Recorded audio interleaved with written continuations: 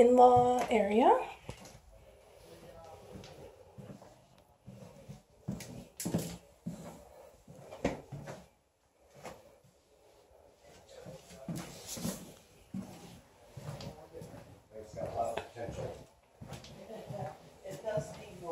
Yeah, but you know, that's why I'm here. You know, I mean, when we work from home, that's kind of how I turn the other property and all that